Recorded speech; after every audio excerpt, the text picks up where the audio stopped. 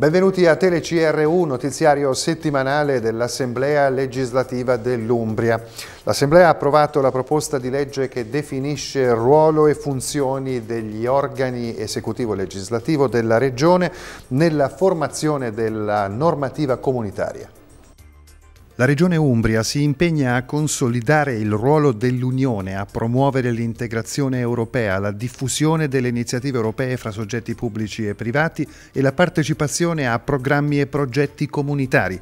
Lo prevede il primo articolo della proposta di legge Disposizioni sulla partecipazione della Regione alla formazione e all'attuazione della normativa e delle politiche dell'Unione firmata dai componenti dell'ufficio di presidenza dell'Assemblea legislativa e approvata dal Consiglio regionale con la sola astensione della Lega Nord. La legge prevede tra l'altro la convocazione di una o più sedute dell'Assemblea legislativa in sessione europea per esaminare il disegno di legge regionale europea, la relazione sullo stato di conformità dell'ordinamento regionale a quello dell'Unione e il rapporto degli affari europei. Il Consiglio e la Giunta regionale, nell'ambito delle rispettive competenze, potranno far pervenire al Parlamento i documenti utili alla definizione delle politiche europee.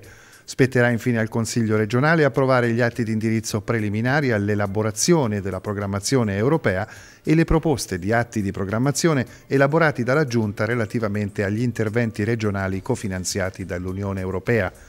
Dopo il voto d'aula, il presidente Eros Brega ha commentato l'approvazione parlando di un importante risultato per l'Assemblea legislativa dell'Umbria. Da oggi, ha sottolineato, l'Assemblea legislativa potrà intervenire nel merito rispetto alla formazione e all'attuazione delle politiche e degli atti normativi dell'Unione Europea.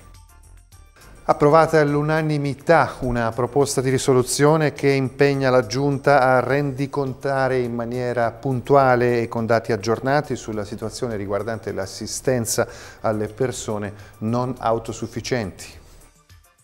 La relazione dell'esecutivo regionale sul Fondo per la non autosufficienza evidenzia i numeri degli interventi effettuati nel triennio 2009-2011.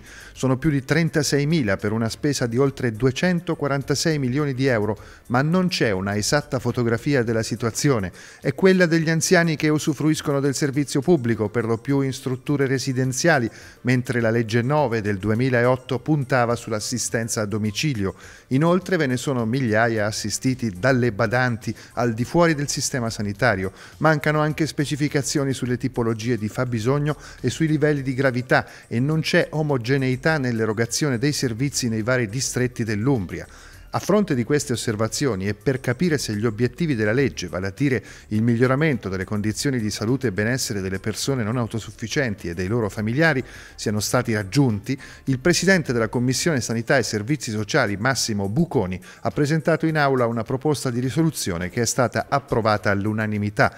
L'atto impegna la Giunta ad una rendicontazione specifica con dati aggiornati sul numero delle persone non autosufficienti, l'indicazione delle tipologie di fabbisogno bisogno e dei livelli di gravità, con l'indicazione delle spese sostenute, a individuare soluzioni organizzative in grado di ridurre i tempi di attesa per l'erogazione dei servizi assistenziali e indirizzare maggiori risorse a sostegno della domiciliarità, anche aiuti alle famiglie.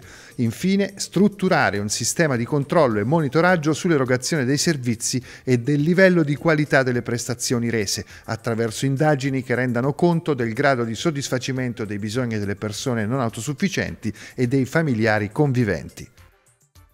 Approvato dall'Aula di Palazzo Cesaroni il piano triennale 2014-2016 per la promozione dell'attività motorie e l'impiantistica sportiva.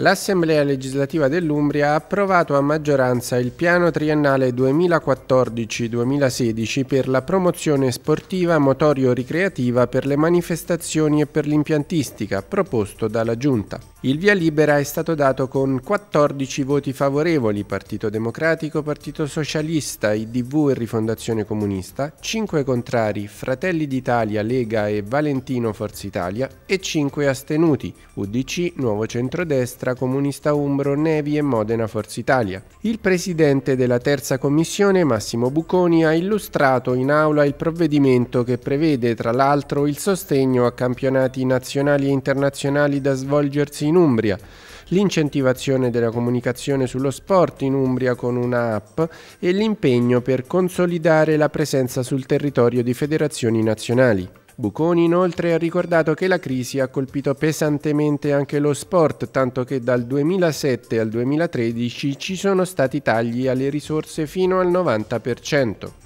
Il relatore di minoranza, Franco Zaffini, ha fortemente criticato il piano per la mancanza di risorse, giudicandolo irricevibile e invitando l'assessore a rinunciare alla delega se il risultato è un piano inutile.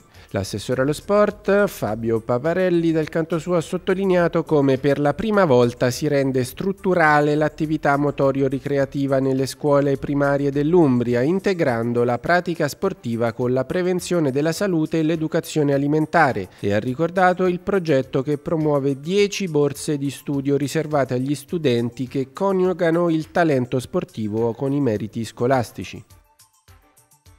Presentata a Palazzo Cesaroni una proposta di legge sui percorsi della birra artigianale, una iniziativa del consigliere Maria Rossi. L'idea di un disegno di legge regionale che sostenga i produttori umbri di birra artigianale viene dal fatto che questo prodotto è in forte crescita, apprezzato dai giovani e in Umbria si stanno affermando diverse iniziative imprenditoriali di settore che si sposano benissimo con la filiera del turismo enogastronomico. Per questo abbiamo pensato, ha detto Maria Rossi, di attuare un gioco di squadra e ideare una strategia comune con questi imprenditori affinché le istituzioni gli stiano accanto. La proposta di legge mira a istituire i percorsi della birra artigianale, sostenerne la produzione, valorizzare i territori dove viene prodotta, grazie anche al contributo derivante dalla programmazione settoriale della Regione Umbria nei confronti delle associazioni di produttori.